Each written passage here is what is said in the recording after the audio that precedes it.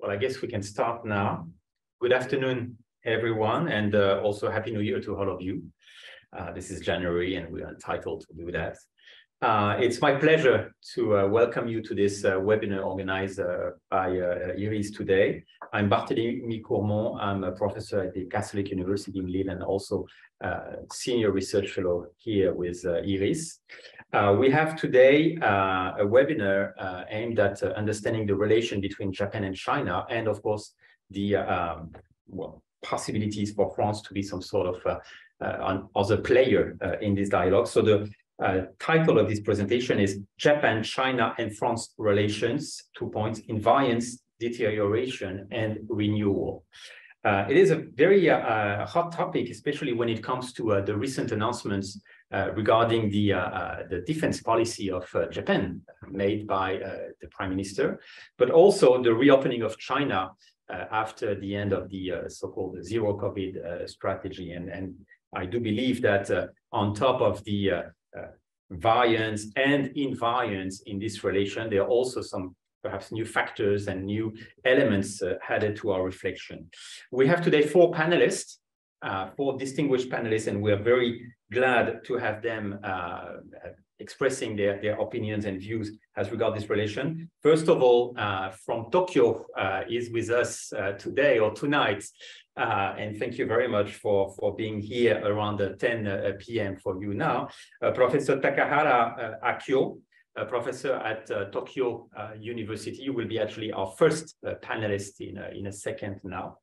On my left, Camille Brugier, uh, you are Associate Research Fellow at the Institute for Strategic Research, uh, uh, mostly known in France as IRSEM. Uh, so thank you very much for joining us, and you will be the second one uh, in this panel. On my right is uh, Emmanuel Lincot, who is a professor at the Catholic University in Paris and also associate research fellow with, uh, with IRIS. Uh, Emmanuel has uh, recently published a, a, book entitled uh, Chine et terre d'islam, un millénaire de géopolitique uh, with uh, PUF. So thank you very much for joining us. And I believe that on top of the, this this topic in, in your book, you will be addressing uh, Chinese uh, policy and Chinese relation with uh, Japan. And the last speaker will be Alice Ekman. Alice is with us online. Thank you very much, Alice, for joining us. Alice Ekman is a senior analyst in charge of Asia at the European Union Institute for Security Studies, the EU uh, YSS, uh, ISS, sorry. And uh, you have also recently published uh, a very interesting book uh, entitled uh, Dernier vol pour Pékin with the edition de l'Observatoire. and I believe also that Alice will be addressing the, the, current developments in, in China, especially in relation with, with Japan. Um, there will be um, about 12 minutes for each speakers. So I uh, invite you to respect this uh, framework. So we will have a sufficient period of time for the uh, Q&A session. Uh, as regards the Q&A for all our participants online, you have a little icon called Q&A. If you have any question and you can start uh, asking questions during uh, the presentations, feel free to write down your questions. I will be collecting them and I will be uh, asking the questions to all our participants once uh, the presentations are over. Um, so uh, do not waste time and I can start collecting uh, these questions as soon as possible. Uh, Professor Takahara, uh, I give you the floor now for approximately 12 minutes. Right, merci beaucoup. Thank you very much. It's so exciting and it's such a pleasure and honor to be on this panel. Um, Thank you so much for the kind invitation once again. Now, um, the topic of Japan-China relations, I'm not sure how familiar you are with the issues involved, uh, but I think you know that the situation uh, currently is not quite ideal. Uh, according to the latest public uh, survey results, 87% of the Japanese do not have a good image of China, and 63% of the Chinese do not have a good image of uh, Japan. Uh, but very interesting, you know, you many of you may think that Japan and China are always fighting with each other, always bickering, uh, quarreling, but that's not necessarily the case. uh, we find in the same survey that in both countries, over 70% of the people find Japan-China relations important. And therefore, as far as the Japanese uh, political leaders are concerned, they have to address two different requests from the people. That is, on the one side, you have to stand firm against the physical challenges uh, that come from China. You have to, we have to be doing well in defending the Senkaku Islands, for example, and try to meet the military, uh, the strategic challenges coming from uh, the west side of our country. But at the same time, each prime minister has to try and improve Japan-China relations at the same time. Uh, so uh, that has been the standard um, uh, policies of the Japanese administrations for a long time. However, in the past two administrations, that is uh, the Suga uh, Prime Minister um, administration, and now it's Prime Minister Kishida who had who has just made a very uh, good visit to France. Um, in, we have had a rather uh, lopsided um, approach that is emphasizing the security side of things. Uh, and they haven't had a lot of initiative on the economic cooperation side, side of things. But why is that? Uh, it's because I think an increasing uh, pressure from uh, China is felt by a lot of the Japanese people. And on top of that, most recently, of course, there has been the uh, invasion by Russia into U Ukraine. And, you know, uh, last year there were a number of joint drills, joint um, military activities between the Chinese and the Russian military. And uh, you know what happened when uh, Ms. Pelosi visited Taiwan. Uh, in retaliation, the Chinese did a missile drill and some of the missiles landed uh, in the uh, exclusive economic zones of, of Japan. Uh, and all these have contributed to the very tough stance that uh, the Japanese um, government has been uh, taking taking uh, recently uh, towards um, China. But China remains to be a very, very important economic uh, partner for Japan. You know how big our trade with China is? you know, uh, the second, of course, China is the largest trading partner. The second largest trading partner for Japan is the United States. The third largest trading partner is the EU. And if you add our trade um, uh, total uh, of, uh, you know, putting our trade with the US and with the EU together, it's just above the trade amount that we do with China. So you understand the importance uh, of uh, China as an economic partner to Japan. Um, so usually economy or economic interests play as a positive factor in promoting Japan-China relations, whereas security uh, usually plays uh, its role as a negative factor uh, in Japan-China relations. And um, most recently, people's perceptions have been declining, especially on the part of Japan, uh, because of the rising concern about uh, security uh, questions. And therefore, I think you are aware that um, uh, Prime Minister Kishida's cabinet has just announced uh, three new documents relating to our security policies. Uh, so, you know, Japan is now in a process, in the process to transform uh, the traditional or the conventional uh, security policies that we have been taking in the past um, decades. Uh, there are other threats too. Of course, North Korea uh, is, is one.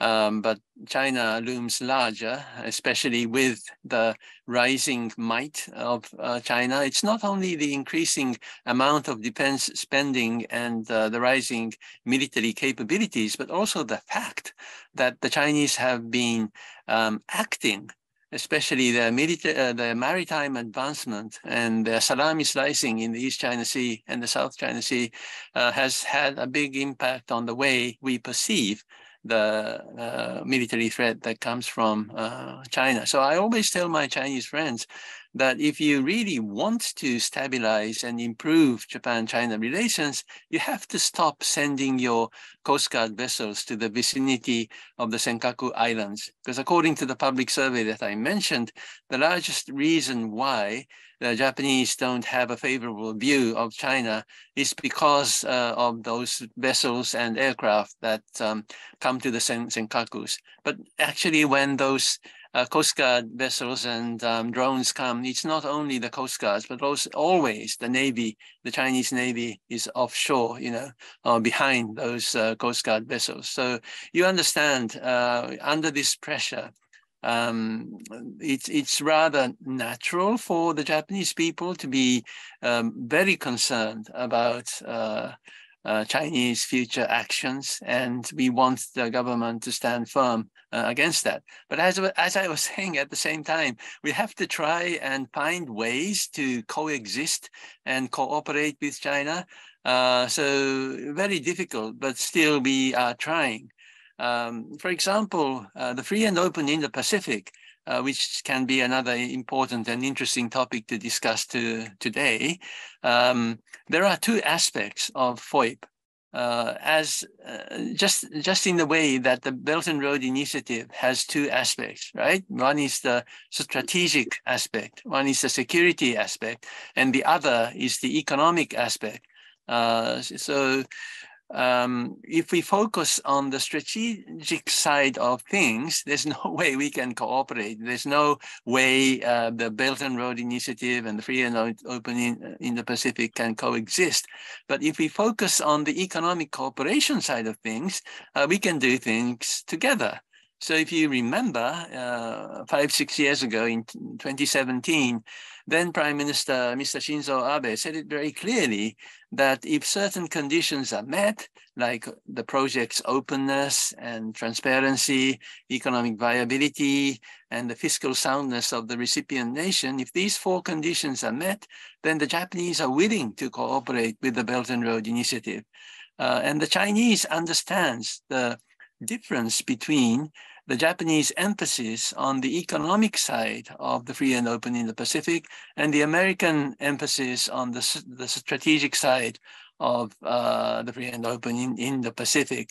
Um, so uh, our hidden agenda, as it were, uh, in, in the future, if Xi Jinping will be able to come to Japan, make an official visit, uh, then we would like to, we would like him to say uh, you know, we would like him to reciprocate what Abe said uh, six years ago and, and say that the Chinese uh, can and uh, they are willing to cooperate with the Japanese version of the free and open in, in the Pacific. They can put some conditions like uh, in the way that Abe put conditions, but um, uh, that's one thing that we've been aiming and it's important to look for uh, joint projects.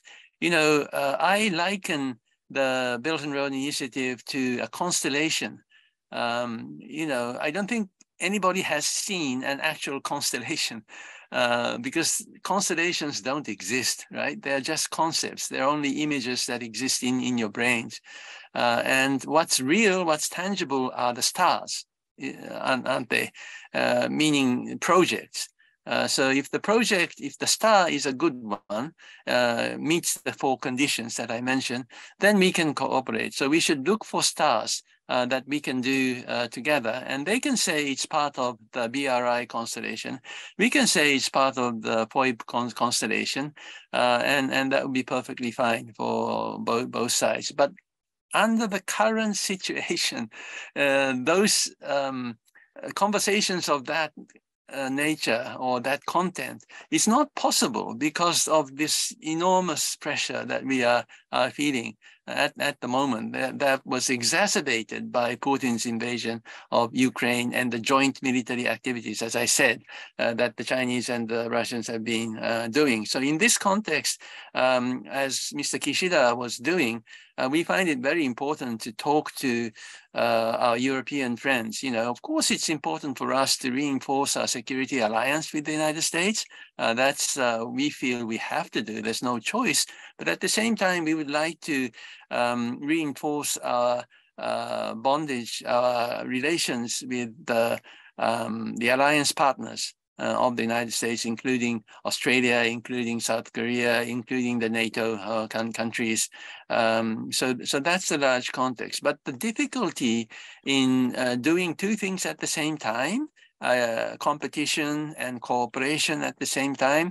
Uh, it's been always difficult, but I think increasingly uh, the difficulty, the level will rise. Why? Because competition is going to intensify on the one side, but on the other hand, cooperation, uh, especially in the economic field, but not only that, uh, in terms of environmental uh, protection or um, you know, uh, anti-piracy, etc. We've been doing these things, and uh, especially on the economic front, uh, cooperation will deepen and widen, uh, despite the competition for in high tech that uh, we are all uh, aware of. so the leader has to have a very solid power base to persuade both sides, the hawks and the doves, and go the middle way. But that's going to be increasingly difficult thank you. I'm going to stop here. Thank you very much, uh, Professor Takahara. First, for respecting the, the, the, the, timeline. I mean, this is exactly 12 minutes. Thank you so much for respecting that. And also for giving us some uh, very honest comments about the uh, the problems uh, in the relation between China and, and Japan. And uh, I start collecting a few questions actually as regards the possibilities to go beyond and to find some uh, possibilities to increase uh, the dialogue and the cooperation, but also for being a little bit more optimistic about the feasibility uh, of this cooperation. And I, I particularly appreciated your comments on the uh, uh, possible convergence, if there's any convergence between the BRI and the uh, free and open Indo-Pacific. So that would be uh, uh, very interesting to, to receive some questions and to comment on that. I will now give the floor to Camille Brugier. Thank you again for joining us today. I assume that you will be focusing a little bit more on, on China and how the Chinese uh, perceive this relation with Japan. I leave you the floor now for 12 minutes. Exactly. Thank you very much. Thank you very much, everyone, and thank you for having me here today.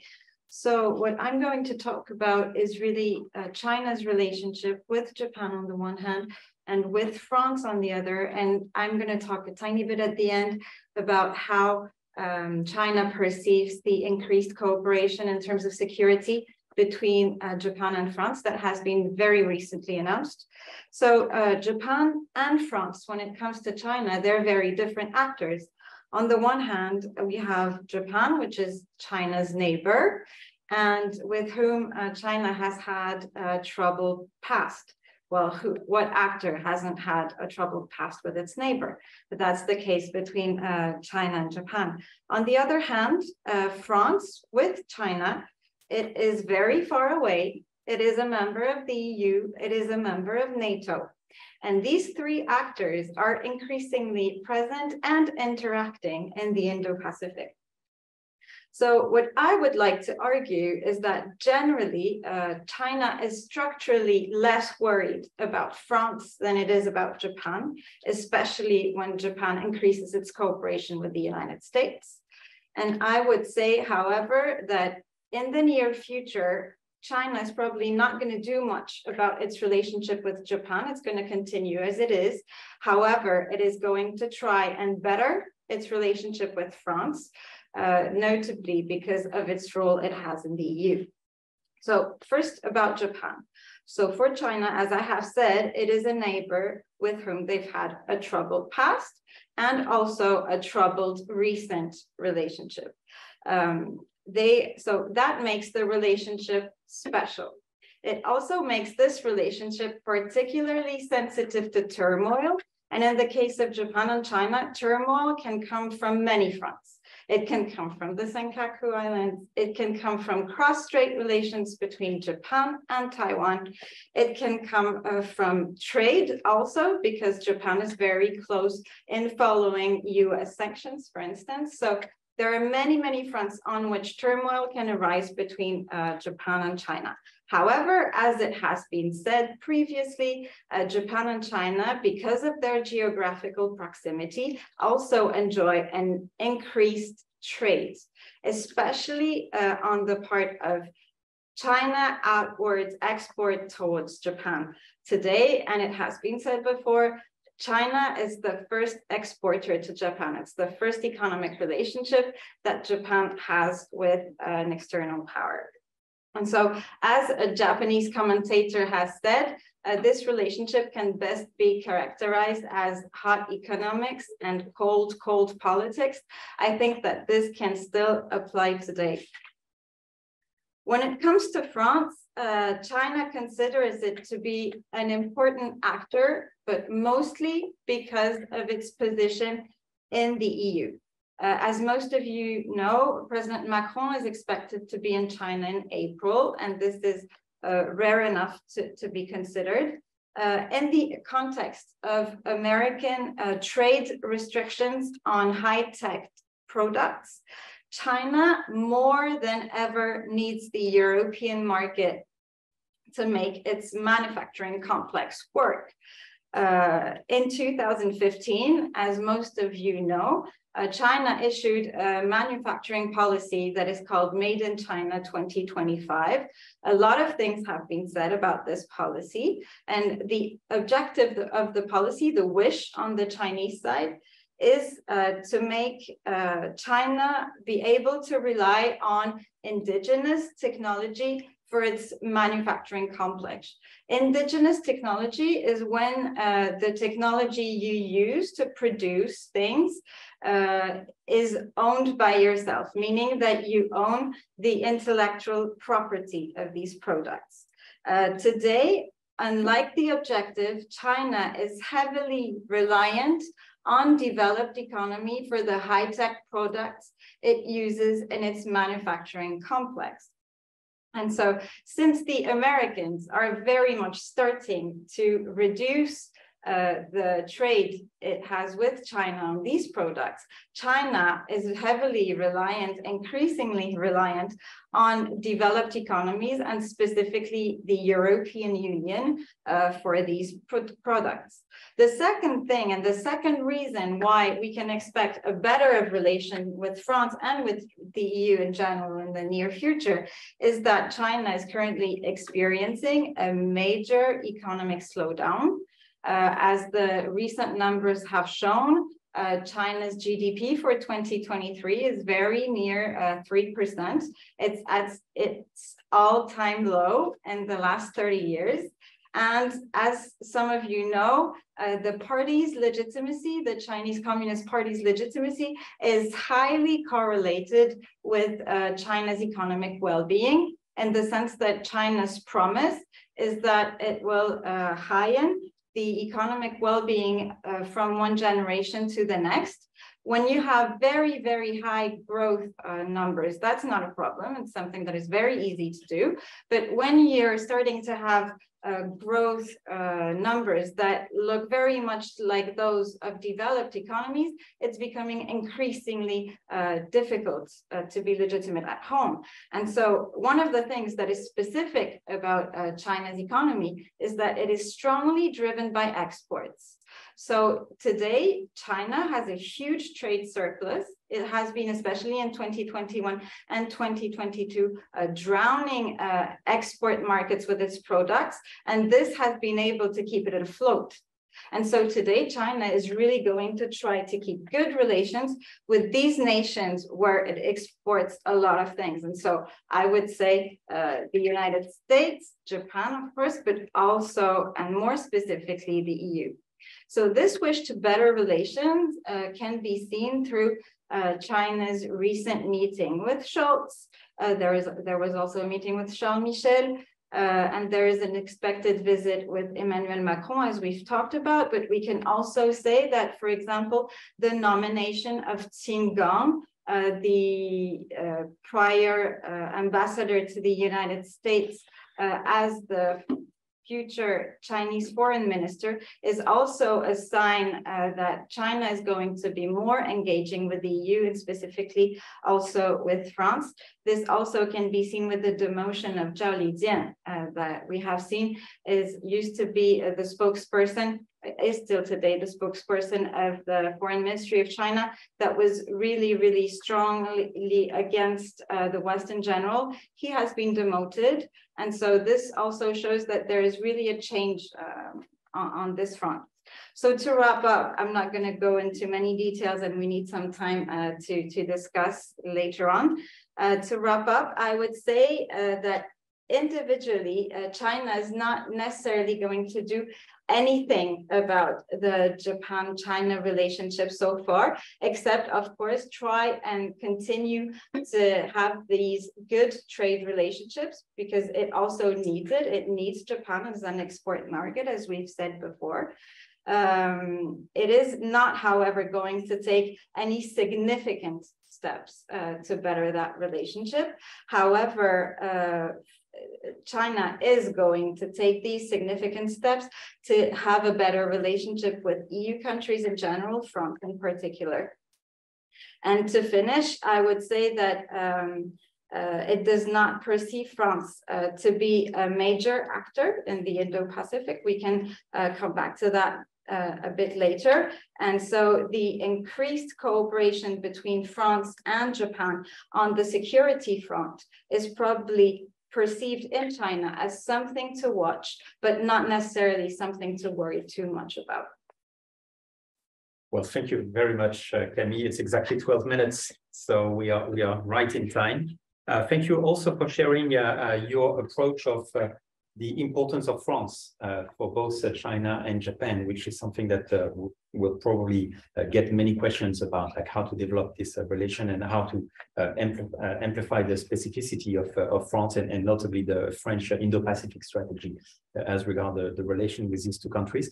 You have also um, made this a little perspective about uh, the, the future or the future trends, the possibilities of uh, future partnerships, or at least a better dialogue between uh, Japan and China based on the current situation in China and the current needs uh, of China. So I, I, believe that we will also get a lot of questions uh, as regard the, the, the, possibilities. And it does echo also uh, Professor Takahara uh, comments, uh, which were more, let's say, positive about the possibility for a better dialogue between the two countries. Uh, now, uh, I will leave the floor to uh, Emmanuel Lincot, uh, and I believe that Emmanuel, you will also give us some comments about the Chinese current situation and how the Chinese regard perhaps more deeply the relation and the perception of Japan. You have 12 minutes. Thank you very much, dear Barthélemy. Thank you, my colleagues, uh, to for sharing the time with you. I will certainly echo a few points and I will repeat uh, certainly a few uh, facts uh, which have already been uh, commented by my previous colleagues. Uh, I will say that to start with, uh, the Japan and China relationships, uh, these relationships are really marked by a double dispute. The first concerning the events of the Second World War and its heritage, and the second by island uh, rivalries. And to this is added the question of the values, uh, democracy and freedom of navigation for Japan, dictatorship and revisionist position for China. And the image of China has been dramatically and negatively changed, and the Chinese violation both of Japan's sovereignty and Taiwan's uh, as well have aggravated the feeling of fear concerning China.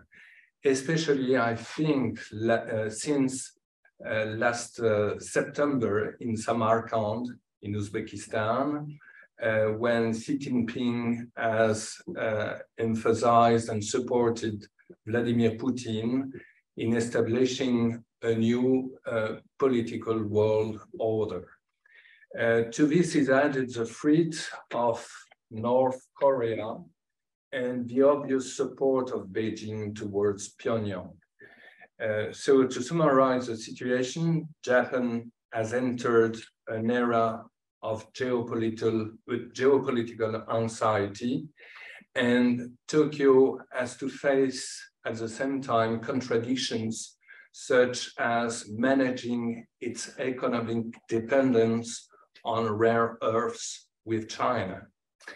In that context, the Indo-Pacific project, of which Japan is one of the main inspirations, offers the opportunity to open up its own economic interest in different geographic areas, such as Africa and the Asia-Africa Growth Corridor Tokyo calls for its wishes could be a path of collaboration with France, especially in the area of the Strait of Mozambique, uh, so the northwest part of Madagascar. This collaboration is variable uh, geometry in the field of military cooperation, in particular, uh, as mentioned by Prime Minister Fumio Kishida when he came to visit President Emmanuel Macron this month. The security dimension of the Indo-Pacific project is commonly shared by the two sides and gives more legitimacy of, of France in the aim to defend its interest in the overseas and to speak on behalf of Europe in a crucial region of the world, I mean the Pacific Ocean. Paris is also deeply concerned by the freedom of navigation and a more extensive cooperation could be planned between Japan and France for creating, for, for example, uh, a military base and why not in New Caledonia? It is uh, maybe an idea, uh, maybe we could have a talk about it. And uh, I will uh, answer to, to your questions uh, in the second panel. Thank you very much. Thank you so much, Emmanuel. As a matter of fact, I have already received some questions just regarding the military cooperation uh, between France and Japan in the South China Sea and also in the South Pacific. So I believe that you will have the opportunity to uh, take the floor again to answer some of these uh, comments. Um, and uh, also thank you very much for reminding us the importance of the historical factor when it comes to the negative perception uh, which is reciprocal uh, in the case of China and, and Japan, and which creates lots of difficulties and which invites us also to consider this rivalry, as we most uh, often call it, uh, from a, a, broad perspective. And, and, that includes, of course, uh, the legacy of World War II and the legacy of this trauma between these uh, these two countries. Uh, our last speaker will be Alice Ekman. So Alice is online with us. Thank you very much for waiting for so long. I, I give you the floor now. I believe that you have lots of comments to add to, to what has been said so far. And uh, just uh, as a quick reminder for all of you uh, here, we have now at this exact moment 151 participants online. So just to let you know that uh, there are many people uh, listening to your comments, and I think it's uh, it's a little reward. So Alice, I give you the floor now. Uh, thank you very much, uh, Barthélemy. Uh, indeed, I would like to share three comments uh, following a very interesting presentation from uh, my, my colleagues. Um, the first one, I mean, is to nuance the first assumption that China is turning the page of the Wolf warrior diplomacy. Actually, none of you, or dear colleagues, made it made that assumption, but that's what we hear quite a lot uh, in recent days. Um, and Camille, you you refer to uh, you know change of position, nomination within the MFA, within the diplomatic apparatus. You mentioned Zhao Lijian, uh, you know, spokesperson of the MFA. He's one of the spokesperson, but other spokesperson were also staff too. And I'm thinking about Hua Chunying, who is still in, in position among others. So um, this to say that uh, yes, China is uh, is really engaged in a new seduction uh, push towards Europe. It's pretty obvious in recent weeks. Uh, for various reasons that we can that are partly economical, partly political. But to me, this uh, seduction push is rather superficial. Um, first, because the wolf warrior, uh, at least communication is still very much going on if you look at recent communication of uh, some uh, Chinese diplomats uh, pointing at perceived mistake made by the French press, for instance, or the fact that according to some official communication in Beijing, COVID, the, the, current variant is is coming from us or from Westerners, and that China is uh, is acting very well in this present context, and the mistake is is is Western. Uh, so we always have find this antagonism uh, whenever there is crisis to explain, but most of all, I believe this uh, rapprochement, this attempt of rapprochement is superficial, but because when it comes to Ukraine, views are so diverging that uh, it's very hard to move on to other a topic of cooperation, or not a cooperation, but other uh, no, uh, topic to discuss, uh, just because, you know, on the Chinese side, there is uh, still uh, uh, more than reluctance, re, uh, rejection to, to mention the word war. Uh, it's a crisis in, in Ukraine. There is no war, and and uh, it still seems, according to official rhetoric, that the faults are shared. That uh, that uh, Russia has been pushed by uh, the so-called fourth wave of uh, NATO's extension towards the east and, and the US provocation. Of course, that's not my position, but I'm summarizing here as the official position of uh, China that is still very much in place, and also the fact that, uh, as many of you have noticed, um, energy cooperation and generally also economic cooperation between China and Russia has consolidated in uh, recent uh, months, uh, and China, Russia being the top uh, oil provider of uh, China, and also both countries continue to uh, conduct joint military exercise.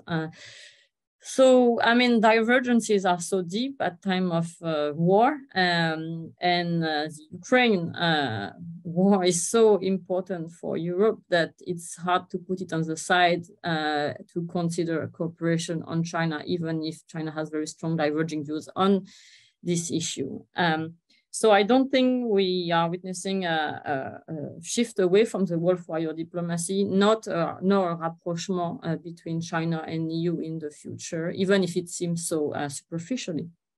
The second assumption I, I wanted to slightly nuance, um, but of course we have to remain modest in, in this time because it's you know it's very hard to analyze uh, um, China's uh, decision being on COVID, for instance. Many of us were unable to anticipate uh, the lift of the zero COVID policy and the partial reopening of China recently. Uh, but I would like to go back to an assumption that we hear a lot and that we heard uh, previously with, it was interesting to, to state, it is the fact that economy play uh, an important positive uh, factor in cooperation, in, particular, in part in cooperation between Japan and China or between China and Europe or China and France. And that we can still, to some extent, you know, uh, separate economic cooperation from uh, political, uh, you know, divergences, or at least we can still maintain a form of economic cooperation at a time of political divergences.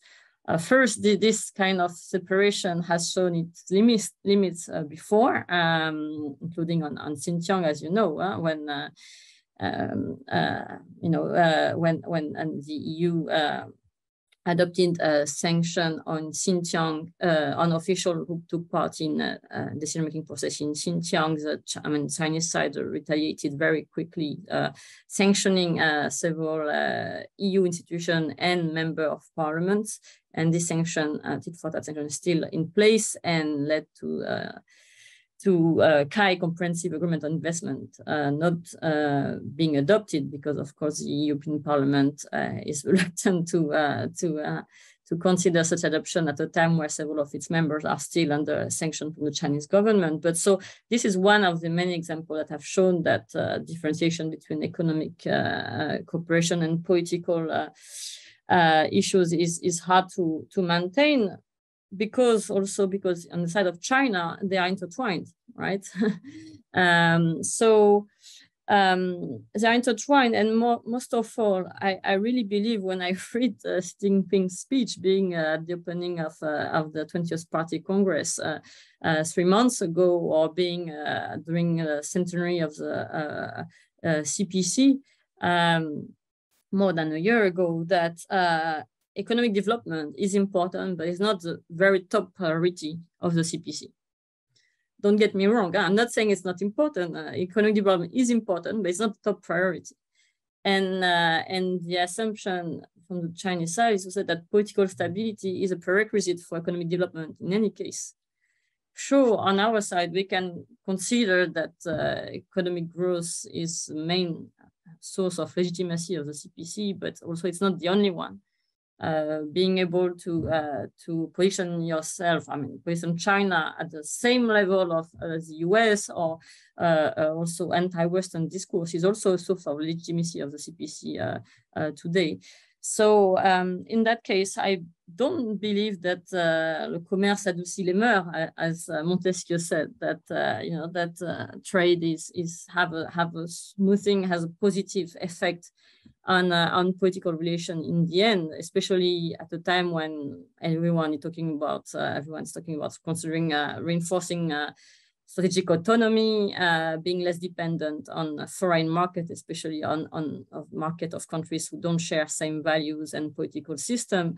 And all the discussion and consideration we have here in Europe is also existing in China uh, from different angle, as Camille mentioned also. But you know that China has launched a plan called 10,000 Little Giants, who is supposed to make China less dependent on some foreign companies, including European companies who are part of the um, manufacturing uh, chain, including you know uh, um, companies such as uh, ASML from Netherlands, who, who are part of the semiconductor production chain. So China has been more aware than ever, not just because of tech and trade sanctions coming from the US, but also because of the pandemic crisis and the shortage that had led to that it has led to. China is more aware than ever that it has it's still very dependent on some uh, foreign technologies and products. It's very it's very much time to limit this dependency. So in that context, I think in the longer term, we have to uh, nuance a bit the fact that economics plays an important positive factor because I think in the short and medium term, China is ready to pay the economic price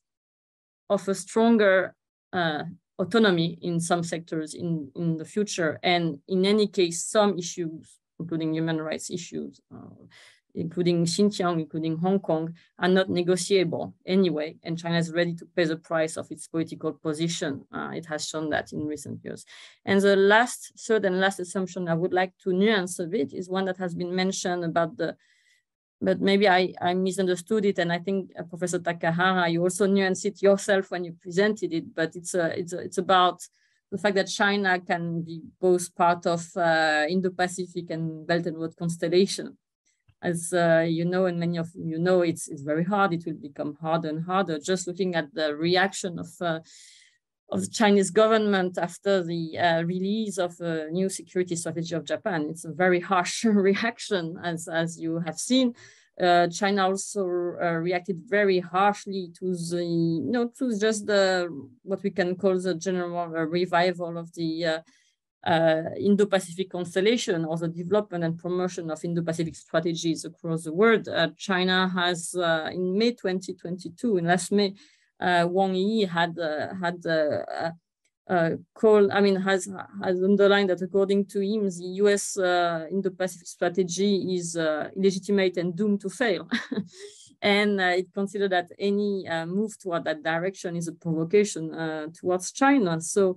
Um, Japan clearly is uh, also, uh, you know, promoting a seduction, a push towards Europe, also clear security rapprochement, which is a traditional ally US. Um, Japan is, is uh, you know, is, is, very much promoting a new uh, uh, security and defense doctrine. It's a major shift um, that we are witnessing with the release of the new security uh, strategy. And, and in this context, um, even if there are still general declaration about potential cooperation under the BRI framework, um, I don't think we can uh, go back to a form of cooperation that we had been witnessing um, under Abe, just because uh, competition between uh, security alliances and partnership is very strong now and is infusing on the potential economic cooperation and, and their limits. Um, I just want to uh, close with uh, by underlining that uh, at a time when uh, when in the US, uh, many European countries, Japan, Australia, Canada, and other allies are really strengthening the alliance and security cooperation at various level.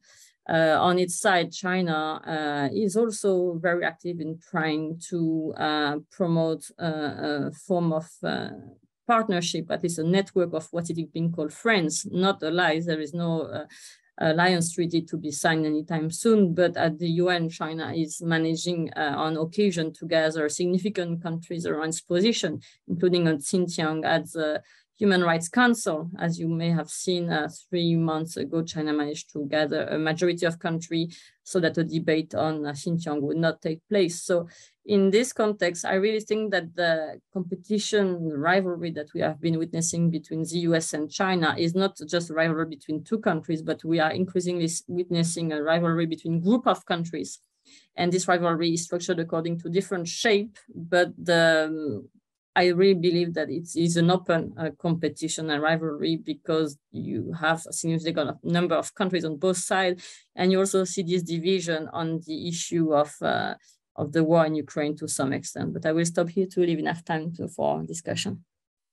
Thank you, thank you very much, uh, Alice, for sharing uh, with us these uh, these comments and. And also, I believe that most of these comments are also questions for the other panelists. And if I may start with uh, Takahara-san, uh, the, the question which I, I, was also having in mind, and Alice uh, uh has the same uh, the same concern about the uh, feasibility for Japan to be at the same time promoting a free and open Indo-Pacific and be a part of this constellation uh, within the uh, Belt and Road Initiative that you have mentioned. So uh, how, how, do you evaluate the feasibility of this double pass for Japan and and how to uh, justify it uh, to the Japanese public opinion, because you have mentioned at the beginning of uh, your presentation uh, the, uh, the, the problem of uh, perception of China in Japan and among the Japanese society. So, how can the Japanese authorities in, in the future make some adjustments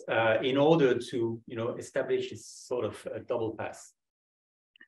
I think um, I've proven myself right. You know, it's increasingly difficult uh, that's what I said, that to implement what I call the two-pronged approach towards China, that is competing and cooperating at the same time.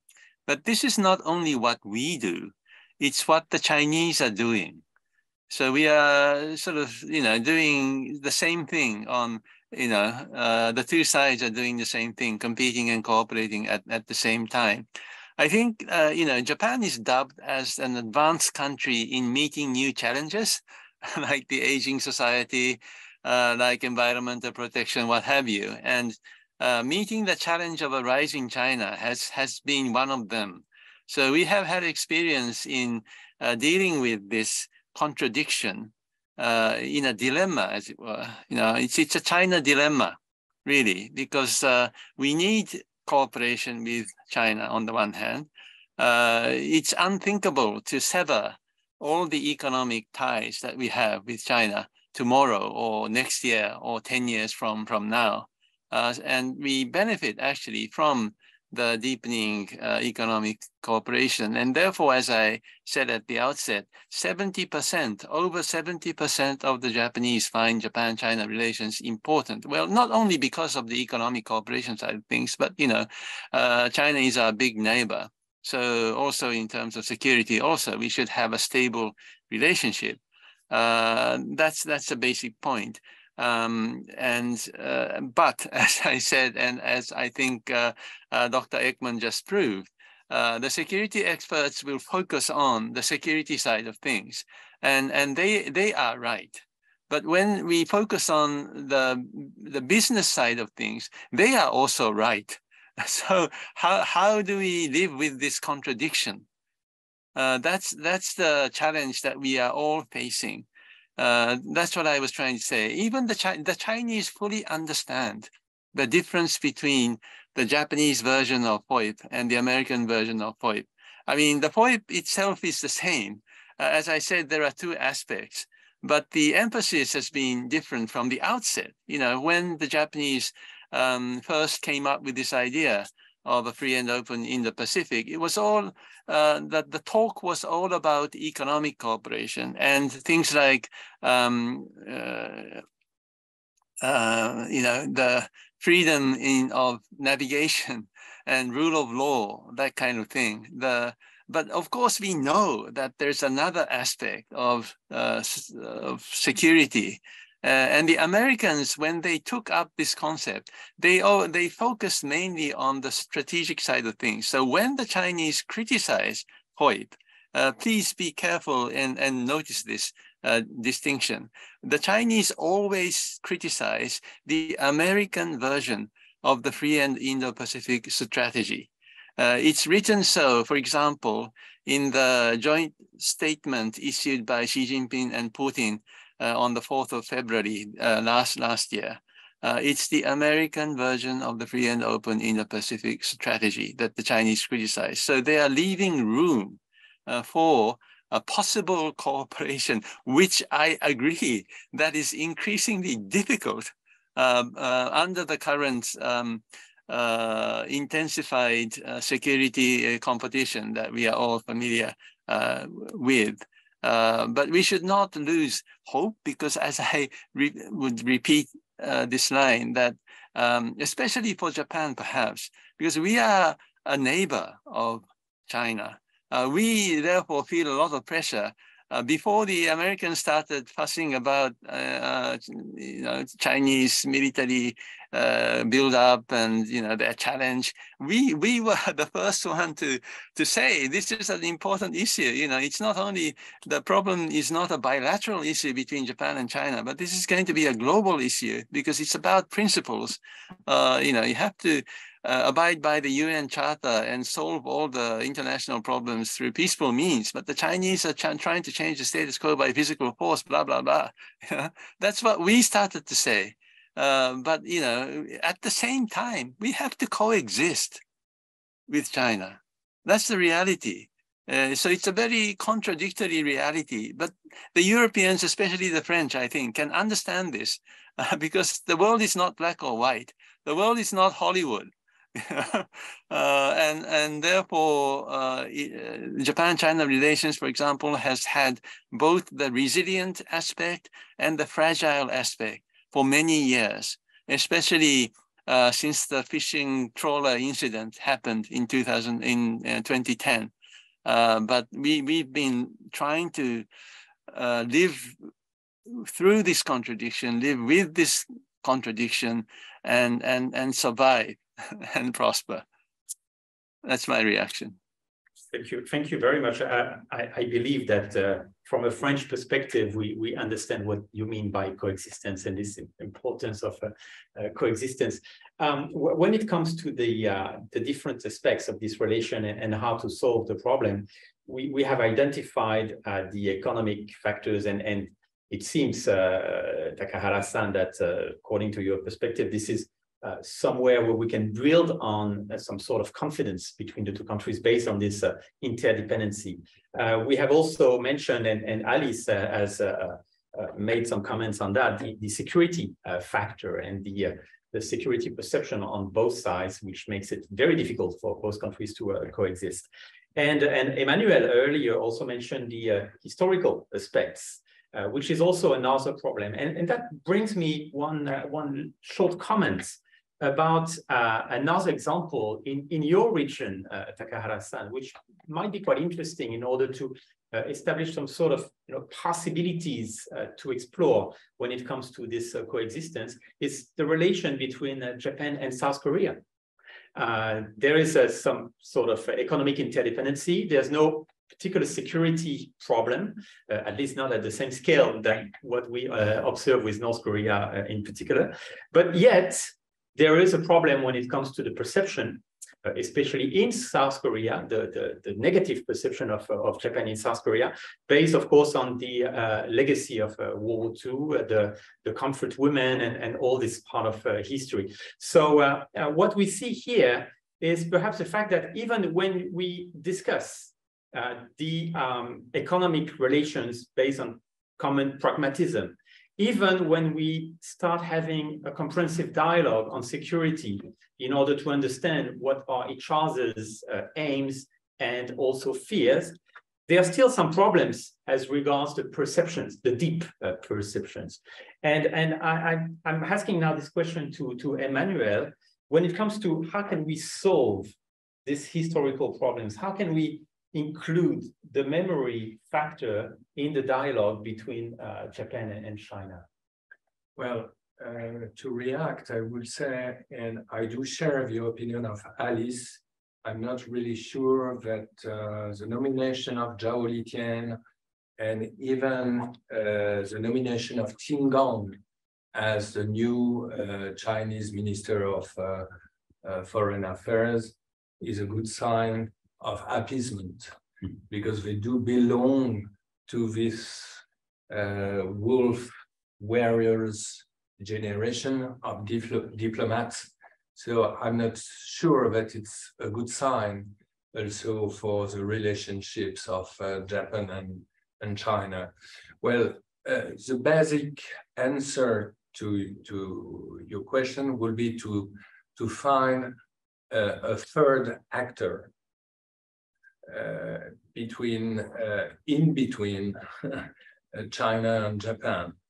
And who knows, uh, an actor uh, uh, who doesn't belong to, to that uh, area, such as France, why not? For example, which has a, a, a, big historical background um, based on a successful uh, reconciliation policy with Germany. So I think, uh, well, when there is a conflict between two individuals or two states, the solution is to find a third actor. So it could be the role of France, who knows. And I, and I believe this is one of the uh, aiming of this uh, this meeting today. So thank you, thank you for sharing this comment with us. Uh, perhaps I have a question now for uh, for uh, Camille in particular. When it comes to uh, the South China Sea problem, and, and I, I, read the question that I received from one of our participants. In what way can France and Japan influence the power play in the South China Sea? And second question, what are the priorities of both countries in this region?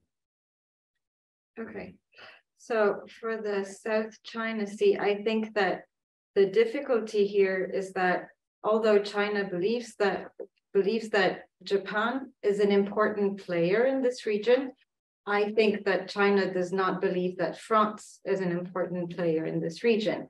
Um, and the different uh, things that China has said following the AUKUS uh, thing. So when um, the Americans decided to take on uh, submarine contracts from the French on for Australia, uh, China never even mentioned France ever in the four months that followed.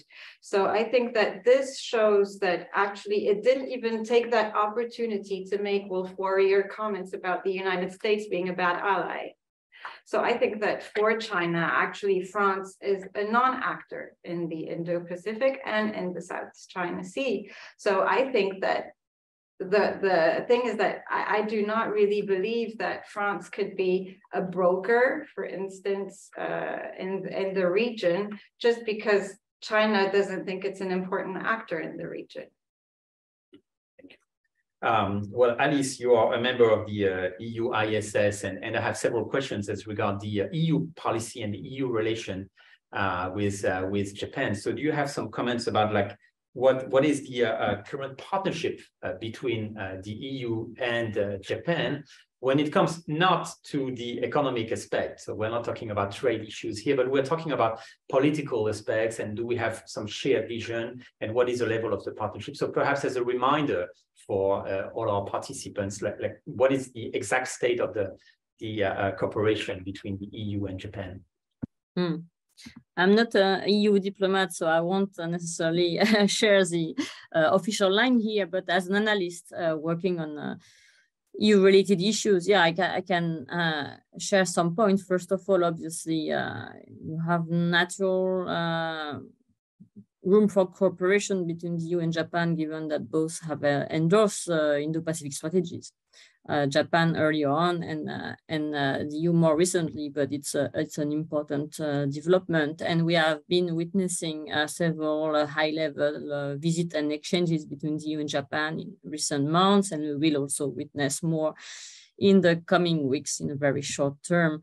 Um, on in May 2022, uh, Charles Michel, uh, the European Council president, said at the closing and press conference closing the 28th uh, EU-Japan summit, he, he, said that Japan is uh, EU's closest strategic partner in the Indo-Pacific region. so that that's really underline how you know how strong is uh, is seen the, the, the partnership from uh, from EU institution. Um, in more concrete terms, as you know, both con both not countries, but EU and Japan have signed a connectivity agreement uh, four years ago, uh, and and that's really a, a, an area of uh, of cooperation. So jointly developing uh, infrastructure projects, uh, not just in respective market, but also in third countries. And I would say more and more in, in the coming uh, years, digital uh, cooperation uh, will be key in the, framework of this partnership. Um, now, I think there is, a, yeah, there is, a, there's a room for discussion and cooperation following also interpretation of the new security strategies. What does it mean? Uh, what are the, the consequences also for EU-Japan uh, cooperation? But in also in more concrete term, uh, both uh, Brussels and Tokyo are on the same line regarding Ukraine and that's a very important point from a, a new perspective, of course. Um, so I think in the in the coming uh, weeks also it will be interesting to hear the Japanese side about what they can do, what they will they may do more towards not just the positioning but also support towards uh, towards Ukraine. But I would say, you know, this uh, value-based cooperation, the fact that both countries share same uh, same line on Ukraine, but also on on uh, Taiwan, concern about uh, Taiwan and escalation of Taiwan in, of tension in the in the strait is an important point. Um, but uh, of course, you know, you have different geographic uh, position and different, uh, I would say, um, approach toward China uh, that are partly due to, uh, you know, also different priorities. I think at the core of EU-Japan exchanges also will be the question of Ukraine. And I believe Japan would like to, to bring more China discussion in the dialogue but in concrete term, uh, it will be more about digital uh, connectivity in the future, I believe. Hmm. Thank you. Thank you, Alice. You have mentioned Taiwan actually in your, in your answer, and I do have several questions uh, when it comes to, uh, to Taiwan. So perhaps I, we can have a little roundtable about this issue on Taiwan because it seems that uh, most of you will have some some uh, answers. So, uh, well, first of all, when it comes to uh, to you, Professor Takahara, um, the question is how important is the preservation of Taiwan's autonomy in Japan's current security and defense strategy? And, and then I will ask uh, the other panelists to give some comments about uh, the importance of Taiwan in this uh, relation and perhaps the deterioration of the relation between Japan and China. Takahara-san. Well, um, first of all, not only Taiwan, but um, those uh, East and South China Sea issues, um, they, I think, are very important, not only to Japan, but also to the European nations too because it's a matter of principle. You know, Ukraine is also, uh, there's not only real war, but also it's a question of um, principles that rule the order of the world. And that's why the Japanese have been cooperating uh, in the uh, EU crisis with like-minded nations. We impose sanctions on, on Russia. We provide non-combatant um, you know, um, uh, e equipment uh, to U Ukraine because we feel that we, we should cooperate uh, because there's something that we really find important to, to protect and, and defend. Uh, so I, I think uh, when something similar happens, uh, in our part of the world, I really expect and hope uh, that uh, the European friends will do, do the same uh, because I, I believe that we are um, trying to defend um, the same things. Uh, that that's the basic point. And and Taiwan, of course, is so important, um, not in only in terms of um, the political systems that they enjoy and the values that they represent and um, they embody. Uh, but also, you know, of, of, course, it depends on how things happen when we think about the concrete uh, process of uh, possible uh, changes. Uh, if if it's the Taiwanese people's wish to uh, unify, that that's that's their decision. But uh, otherwise, you know, that's very unlikely. And therefore, uh, if we are talking about some um, coercion, uh, some military actual hostilities, uh, then then that's going to be an extremely serious um, uh, blow to the economy and um, the actually it will involve the, the lives of people. Um, not only the taiwanese and the mainland uh, chinese but also people. There are a lot of foreigners living there. Uh, so uh, it's it's an extremely important uh, question. I think that the unification based on uh, the will of the Taiwanese is very unlikely at the moment and, and will remain uh, uh, very unlikely, I believe. Uh, Camille, would you like to add something about the importance of Taiwan in this uh, relation and how it does affect the relation between uh, Tokyo and, and Beijing in particular? Yeah, I think that the, the thing is that the commentators have really focused on the idea of a Chinese invasion uh, of Taiwan, out, outright invasion.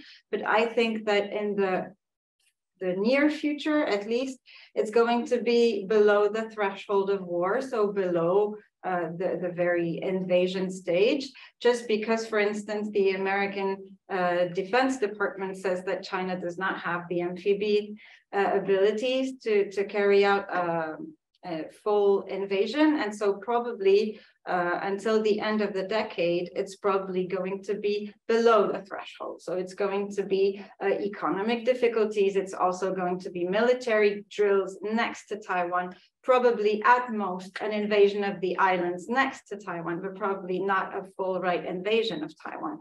And I think that there is actually little discussion of what to do, how to react, uh, within uh, the framework, but below the threshold of war. And I think that's probably uh, something to be discussing uh, between uh, France and Japan, what to do, how to react in the scenarios that are most likely.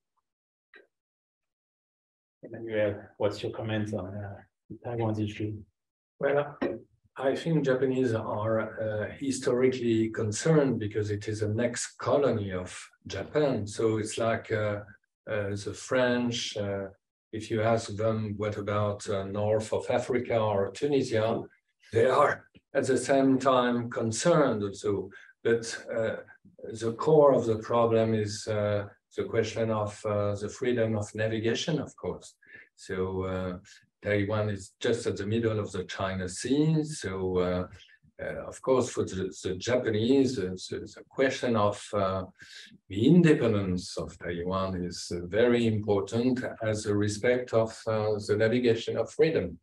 And um, I think everything is moving now on a geopolitical point of view. I wouldn't be surprised that Japan, at the same time, uh, should be more concerned about the North Territories of Siberia and Kuril and Sakhalin maybe, because uh, Russia becomes more and more uh, uh weak, as you know, and uh, I think everything is moving even if it's area.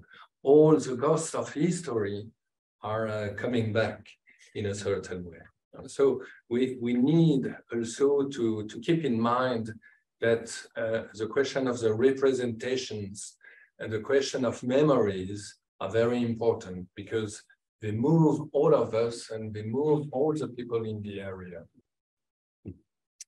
And, and at least to, uh, to close up this uh, roundtable on, on Taiwan, we, we know not only that uh, the, the polls as regard the possible unification of very negative in Taiwan, and, and the vast majority of the population rejects uh, any uh, idea of unification. But we know at the same time that the perception of Japan is, extremely good uh, in Taiwan, which is actually uh, uh, perhaps the, the only country in the region that shows uh, such numbers.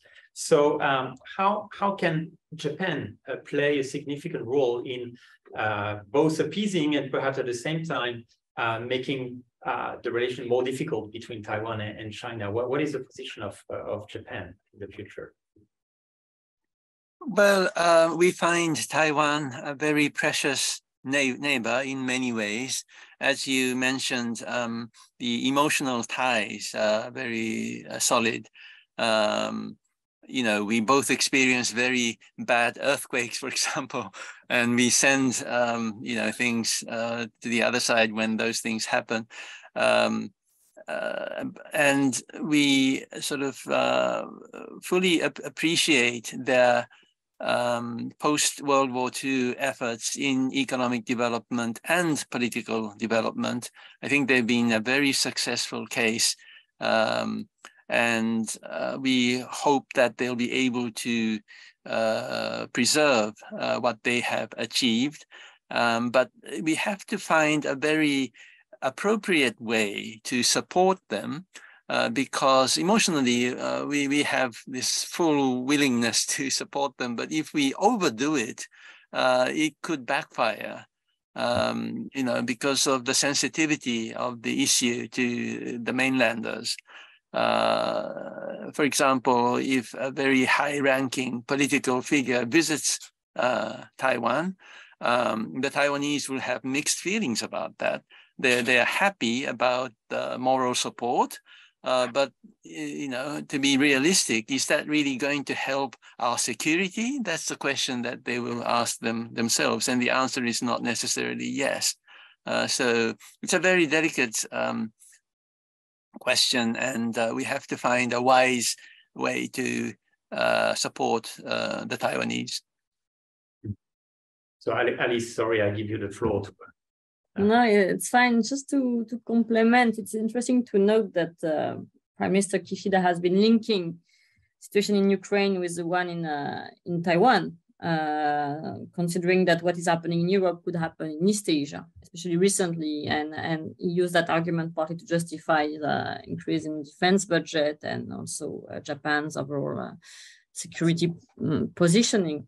Um, personally, uh, I, I, believe the, the parallel should not be overdeveloped. I don't think China needs uh, needs Russia to know what you know to to, to define strategy and finding strategy toward Taiwan. Uh, I don't think that, uh, and like like Camille, I don't think that we should expect a full fledged, uh, uh, I would say, traditional invasion of uh, China towards Taiwan, I think it's important to consider this option, especially as Xi Jinping mentioned that the military option is on the table. But when you read very closely the opening speech of the 20th Party Congress, it is really promoting a targeted approach, uh, basically uh, underlining that he aims at, I mean, the CPC aims at uh, supporting what he calls uh, patriots and uh, targeting what he called uh, separatists.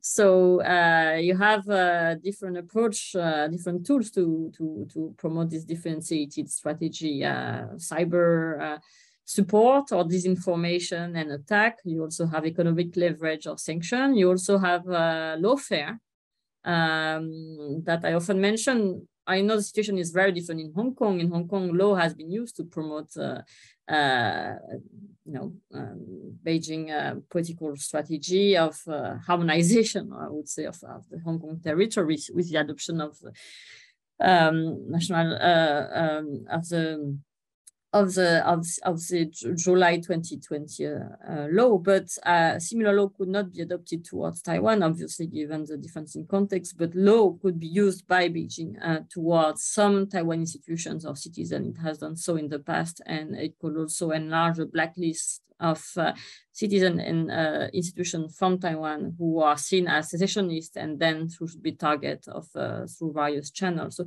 I won't mm, I won't develop too much on that, but question I wonder if at some point the war in Ukraine is not used in a case uh, is, is not um, how to say uh, too much discussed to basically justify uh, the new security development in Japan. I'm not saying that this is a you know it, it's, uh, it's direct, but I, I am not very comfortable when Prime Minister Kishida make a direct link between Ukraine and Taiwan. I think it's a bit simplistic. It's a bit too far fetched, and uh, I, I, would be more. I'm from an ethical level. I would be uh, more nuanced and and saying okay, let's look at the new security strategy of Japan, uh, uh, considering it's a it's a long term development that is coming out now. Um, would it have come out without the war in Ukraine?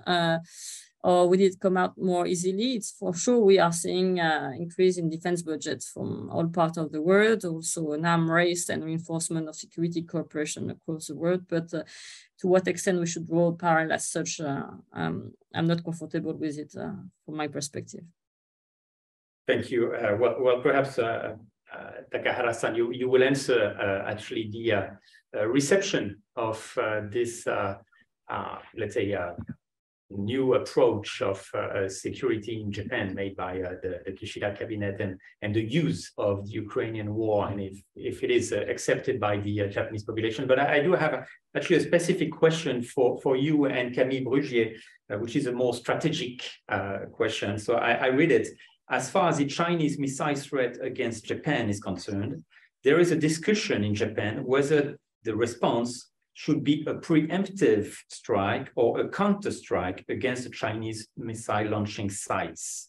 At which point are presently the discussions in Japan about that? So, uh, Professor Takahara, maybe if you can uh, give us some comments about, you know, how how to uh, um, how to prevent uh, what is uh, potentially a, a, threat coming from uh, from the missiles in in China, and perhaps Camille will say some comments about it too. Takahara-san? Um, first of all, uh, where should I start? Um, mm, on the Ukraine uh, question, um, the invasion by Putin did um, have a big impact on how the Japanese public uh, viewed uh, security issues. So I think Kishida's remarks were you know, trying to make use of uh, this big shock that uh, hit the Japanese uh, people in order to justify the the new um, security documents that he was going to release. Uh, that was his political in, intention, as as I think you understand and I think you mentioned. Um, uh, that's that's that's that. Uh, I don't think the professionals think that you know uh, the situations uh, in the Ukraine and Taiwan are very similar, and I would agree with you that uh, uh, many Japanese actually experts don't think um, that the Chinese side will attack Taiwan in the near future. But at the same time, we all understand that we should not lower our guards anytime uh, anything could happen. So we should be prepared and we should be prepared better for uh, the gray zone um, incidents and things that uh, Camille mentioned. Uh, so we haven't been doing our homework very well up to this moment. So I, I think from now on, the pace will be quickened uh, to prepare ourselves for all sorts of um, contingencies.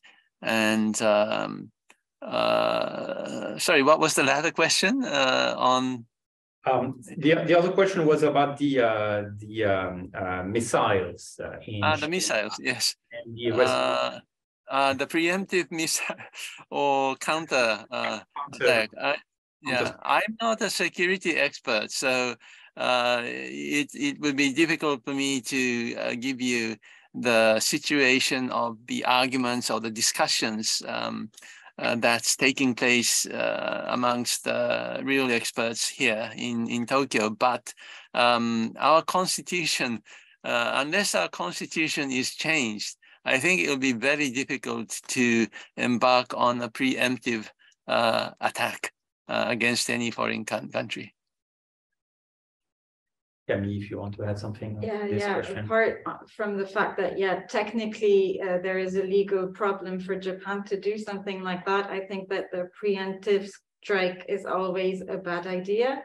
Uh, in this context, uh, it would mean going to war with China, which is not necessarily something that Japan wants at all, and something that it wants at all in like the near or the far future, I would say. Thank you. Yeah, I, I agree with uh, what you just uh, said. Uh, perhaps now a question uh, specifically for Emmanuel and Alice.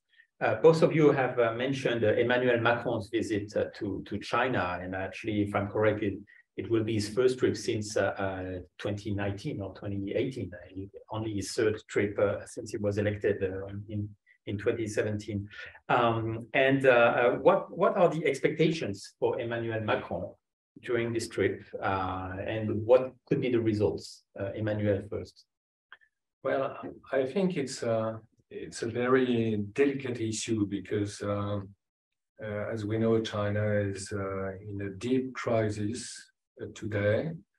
Uh, we don't know about the future, the future of Xi Jinping as well. Uh, so I'm not sure that it is the appropriate time for going to China, even though the relationship between the two countries is very important in the order, uh, especially to prepare the anniversary of uh, the recognition by de Gaulle next year in 2024, which is very important, uh, especially for the Chinese, because uh, traditionally, uh, the Chinese diplomacy uh, has always tried to find a, a way to uh, to establish um, a special relationship with uh, with France. Uh, paradoxically, in the end, to speak with the Americans. so I, I think this trip for Emmanuel Macron will be more important for Xi Jinping than for Emmanuel Macron. Uh, it will be delicate also for Emmanuel Macron for political issues also, uh, for political reasons, uh, I would say, uh, because uh, as we said before, the image of China is very negative now, in the opinion. Uh, so going into China today or even in April is quite difficult. And uh, of course, he will certainly sign big contracts for Safran, for Airbus, and so on. But uh, it is especially for Xi Jinping um, a very important issue. Alice, would you agree with what Emmanuel has said?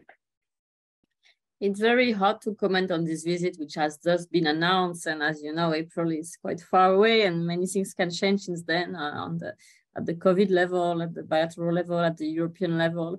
A question that is interesting to follow is to what extent uh, Emmanuel Macron will Europeanize the visit. If you remember well, in his uh, 2019 visit, he, he went to uh, to China uh, with a, a, German minister and a European commissioner, uh, Phil Hogan, um, and, and, and, that was part of a, a, methodological approach to, you know, to to try to uh, to to gain leverage in front of China by by playing uh, the European card, and and there's a French presidency that has. Uh, ended last year, uh, you re- there was really a push from from from France to to talk about the Indo-Pacific, about China at European level, and I think that uh, that uh, that was quite influential. So uh, it's very interesting to see how the Elysee will prepare uh, the visit in cooperation with the European partners and how concrete term, uh, you know, the, the, visit will take place, uh, which type of delegation, how European it will be. And I agree that it will be a very difficult visit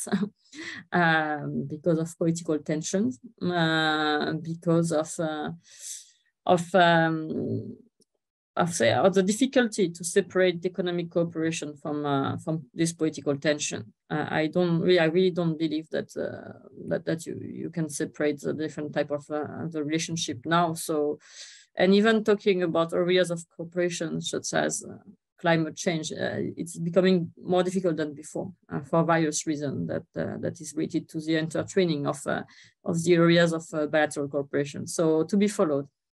Mm -hmm. Thank you. Uh, we have only about five minutes remaining. So what I propose now is to have a last roundtable. I have several questions uh, that could be like combined together regarding both uh, the perception uh, among the Japanese population of the uh, uh, current adjustments in the defense policy, like how, what is the reception? I mean, we remember, for instance, back in, in in 2015 uh, the protests uh, when it comes to the uh, uh reform of the uh, Article 9 of the, the Constitution. So are we facing the, the, the, the same sort of uh, attitude among the, the Japanese public opinion? And the other question, which is perhaps more for our French panelists here, is about the relation with the United States, but that also concerns Japan. So we are both here allies of the United States, but the question is, our uh, strategic autonomy uh, in the region should be uh, increase our autonomy, or should be should we be at the on the other side stand with the United States and perhaps um, like emphasize on the ideological problems with China and the ideological uh, uh, divergences. So uh, what should be our attitude as regards the relation with the United States in dealing with China and in dealing with our own interests in the region? So Japan's public opinion and our relations with the United States. Professor Takahara. Well, um, policies have been churned out so quickly, so fast. And my impression is that uh, the public has not caught up uh, with the new uh, documents and policies. Uh, and therefore, you know, the, the debates in the Diet, our parliament, is just to begin. Uh, so there'll be a lot of um, intensive discussions from now on. that's the current situation.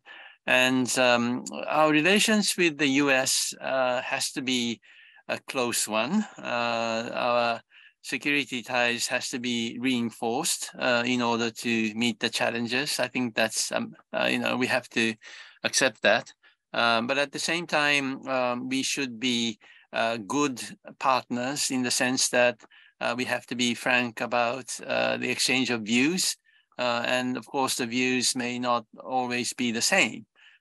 so we expect the United States to be, um, you know, a good listener uh, in listening to um, different views, if there are any different views uh, amongst their uh, security partners.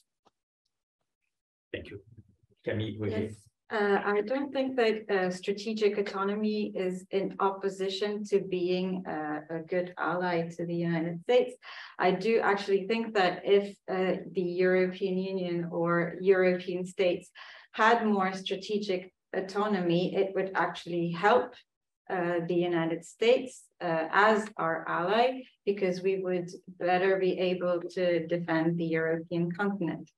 Uh, in terms of Asia, I do think that so far the the opinions about China as a threat are diverging uh, from when, when you call the United States and the EU. And I do think that it's really important for European member states to keep in mind that in terms of the Indo-Pacific and Asia in general, our interests are, are divergent from those of the United States. So I would call for more strategic autonomy while keeping, of course, uh, the United States as a very close ally. I do share uh, Kevin's opinion. I think we need to find a third path um, in between the US and China. And I think Japan could be a very good uh, uh, partner in that way. Uh, I think um, the acceptation of uh, the Indo-Pacific uh, project as the Americans usually think which means confront, confrontation against China, uh, mustn't be uh, our way, of course. And uh, because of its overseas interests, France could speak also in the name of all the countries of Europe and establish a better and closer relationship with Japan in that framework too. Alice, you have the last word. Oh, we, we cannot hear you. We can't hear. I was saying um, not much to add. I, I believe really that um, it's not an easy, I would say, era that we are entering with a competing uh, partnership. And um, just to go back to what uh, Professor Takahara said, that the, the word is not black and white. I fully agree with you, but it, it's it's kind of becoming progressively black and white, uh, black or white. So it's difficult to uh, to maintain. Uh, to, I mean, at the same time, there is strength to diversify partnerships, but at the same time, diversification of partnership is, is kind of following uh, geopolitical compatibilities that is also uh, influencing uh, economic cooperation to a great extent. So uh, I, I, believe it's uh, it's important to continue to follow uh, France-Japan relationship, EU-Japan relationship, as well as relationship with other partner. Um, but diverging um, interaction with, with China and position on China may also create tension among allies and uh, and China is also very, I would say, um, clever in proposing uh, its initiative to diversity of country, including to uh, to US allies, and that has in the past creating uh, uh, divergences and, and tension. I'm thinking about the AIB, for instance. I'm thinking about Belt and Road uh, MOU that has been signed with Italy in 2019, for instance, and I may think about other type of cooperation in the field of connectivity that may emerge in the coming years that may be hard to, I would say, handle and manage uh, within the Indo-Pacific grouping.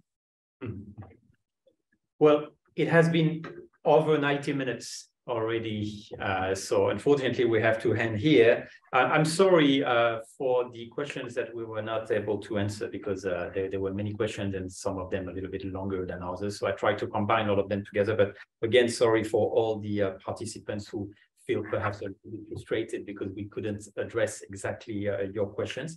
however, I remind you that this seminar has been recorded and it will be put online within two weeks and shared with all the uh, social networks where you can find uh, Iris. So um, uh, do not hesitate to watch this uh, this seminar again and to and to spread it uh, around you. Uh, thank you very much for joining us today. Professor Takahara, thank you for staying with us in the evening, and, and we wish you a, a, very pleasant evening in Tokyo. Thank you to our French panelists, Camille and Emmanuel here, and Alice online for taking some, some time and, and sharing your vision on, on this extremely important topic. We do believe that we will have um, several topics to discuss when it comes to uh, both the economic partnership, the strategic partnership, the uh, historical aspects. I mean, these are all different topics that we have to explore in more details, and that will be probably subject to uh, several meetings in the future. So again, thank you very much. We had an average of about 140 participants uh, overall, a little bit less now, obviously, but we had a peak of uh, 162 uh, participants to this panel. So I, I think it was a, a success. Uh, so thank you so much and thank you for attending this seminar today. Merci beaucoup. Au revoir. Arigato. Arigato gozaimasu.